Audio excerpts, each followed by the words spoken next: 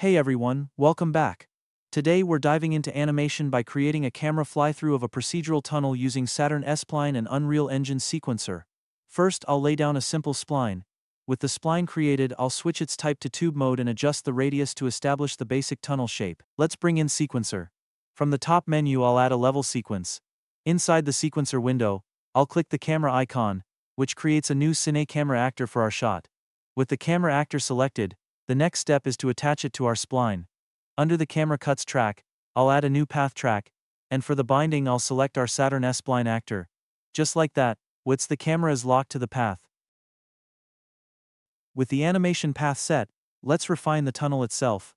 I'll fine-tune the radius and increase the radial divisions for a smoother interior surface. Since our camera will be inside the tube, there are two crucial steps.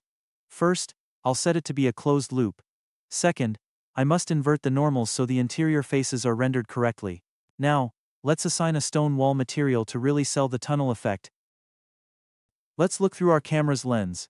I'll pilot the camera and adjust its rotation to ensure it's always looking forward along the path. The real power here is the live, non-destructive workflow.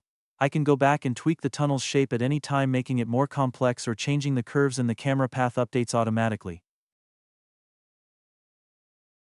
Now when I scrub the timeline you can see our camera object flying smoothly through the custom tunnel we just created. This entire setup took just a couple of minutes. That's how you can combine Saturn S-Spline with Sequencer for dynamic camera animations. Thanks for watching.